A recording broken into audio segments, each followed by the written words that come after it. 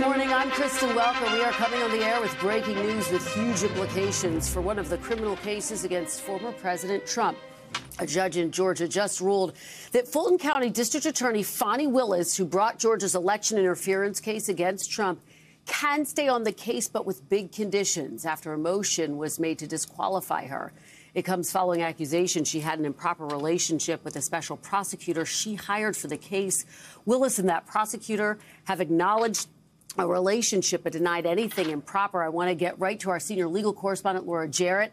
Laura, there is a lot at play in today's decision. Help us break it down for us. Uh, some tough language in here as well.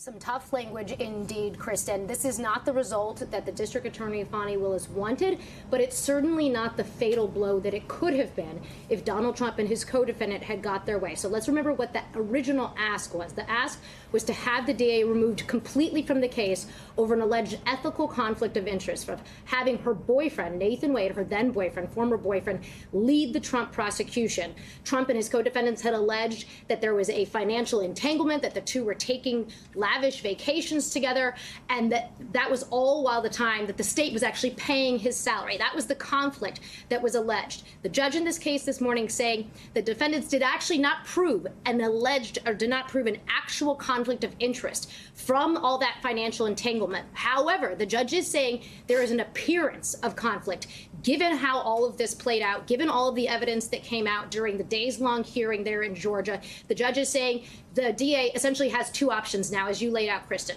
She can either remove herself and her entire office from the case completely, which would be a severe blow, or she can remove Nathan Wade from the case, which is perhaps much easier to do. And anybody else could certainly step in his shoes as opposed to wiping out the entire prosecution team. There is certain language in here that it, I, if I'm the district attorney, I find very troubling. Some of um, the tone that the judge is using, talking about the allegations against her. But there's other language where, in other ways, he sort of exonerates her and says the evidence didn't go as far as Trump and his co-defendant had suggested. But again, bottom line here is the DA now has a choice to make. The indictment stands. It has not been dismissed, but this is going to be a choice for her to make, or it cannot just go on as status quo as normal, Kristen. And Laura, let's just tick through some of the language here. The accusation was that the district attorney benefited financially from this relationship with Nathan Wade, the top prosecutor, her ex boyfriend. And the judge ruled the defendants have not presented sufficient evidence indicating that the expenses were not roughly divided evenly. That was really the core of this case, right, Laura? Yes. Trying to establish that link that she somehow benefited financially from this. That, that's exactly right. That, that was the whole sort of crux of it. And they kept pressing that even if they couldn't show an actual conflict, it just smelled funny and it looked bad. And the judge says this, which I think is notable. The district attorney chose to continue supervising and paying Wade while maintaining such a relationship. She further allowed the regular and loose exchange exchange of money between them without any exact or verifiable measure of reconciliation.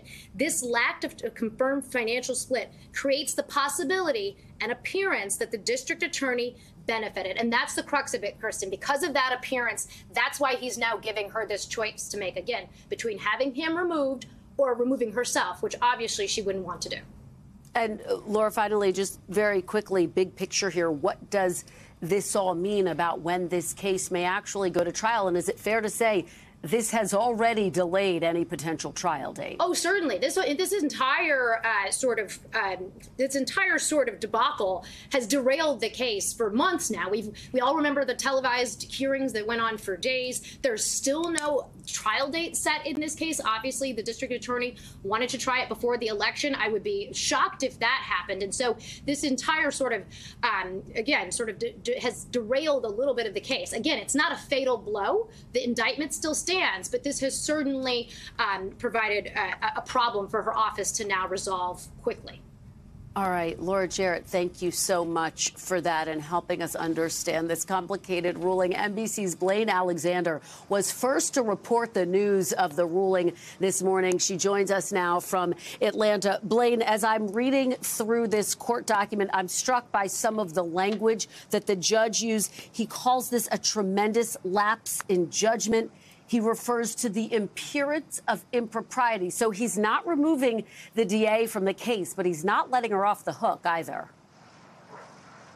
You know what, Kristen? He does not hold back in essentially scolding the DA, kind of basically saying, listen, yes, there is not actual uh, incongruency here, but this does not look good. This looks bad, and he's letting her know that. When we talk, though, about appearances, though, Kristen, I have to kind of break out and just widen out and talk about the fact that not only has this really just dominated this conversation over the past two and a half months, remember, as you and Laura were just discussing, this essentially ground this case here in Georgia to a halt. This is the case that many legal experts were calling the most legally perilous against former President Donald Trump. And for the past two and a half months, none of the facts of the case or anything have been discussed. But in addition to what's happening here at the Fulton County Courthouse, we also have to look at the fact that it has sparked other investigations into this district attorney. We know that just a couple of blocks away, there's a Republican led state Senate committee, in fact, that's investigating these very allegations. And in fact, the chairman told me that he expects to subpoena Fani Willis in the coming weeks to get her to come down and testify at the Capitol. There was a bill that was signed into law by the governor just this week, giving lawmakers oversight over state prosecutors. So even though, yes, this does essentially give Fani Willis and her team the green light to continue on this case, with, of course, making the change of removing Nathan Wade from the case, there are so many other ways that this has become sidetracked, and we expect that those will continue uh, in the months to come, uh, Kristen.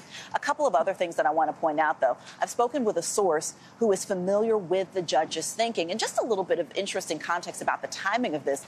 This order has been written for more than a week now. That's certainly interesting. He's been tweaking it, he's been fine tuning it, but that tells me that he made his decision soon after hearing the summation arguments uh, from the attorneys a couple of weeks ago. The other thing, though, that it tells me, of course, all of this is tied to politics. We look at the ballot. Donald Trump is on the ballot in November, but Fani Willis and Judge Scott McAfee are also running for reelection. The judge has drawn a couple of uh, opponents in this case. That happened last week, but the fact that this was written before that shows basically that there was no political kind of leanings in the fact that he has opponents and when he drew this. The other thing that I'm learning is that security was a major factor. Mm. The judge has already received a number of threats against him and against his family. He has two young children. And so why put this out today? The source tells me that that allows for him to put proper security measures in place. He'd been working with the sheriff's office this week to make sure that that security was in place before this order was released, Kristen. Uh, really fascinating, Blayne. The judge, Judge McAfee, in his early 30s. Talk a little bit about what you have witnessed in court. Of course, that surprise testimony by Fani Willis herself, Nathan Wade taking the stand, Fani Willis's father even taking the stand to talk about the fact that the family typically pays for things in cash, and that's why there wouldn't be a more robust written record of the financial transactions between Fani Willis and Nathan Wade. This really was a spectacle that unraveled there. Absolutely was. I mean, we got into personal details of the district attorney and her relationship with Nathan Wade. We heard about her preference of Grey Goose vodka over wine. I mean, these are things that nobody would have ever would have thought would have entered the conversation when you're talking about the prosecution of Donald Trump. And so, yes, uh, the other thing, of course, one thing that stands out here in Georgia is that all of this is televised. All of this is playing out on live TV. And so when we talk about that appearance going forward and kind of what that looks like for the case, aside from the legal implications here, certainly that appearance is very, very crucial as well. One important note I want to add about Nathan Wade, Kristen, he's somebody who's been on this from the very beginning. You know, it's very important to remember that he was brought on to lead the special grand jury back in 2022 when they started bringing in witnesses, that eight month period where you kind of had testimony and the investigative part of all of this. So he really is, some could argue, uh, perhaps one of the more familiar people with the facts of this case. So the fact that he is ostensibly going to have to leave, that's certainly notable as well, con- uh, considering his longevity on this case, Kristen. Well, the Trump team's goal was to delay, delay, delay. And in this case, at least, they have been effective at that. Blayne Alexander, incredible job breaking this news today. Really appreciate it.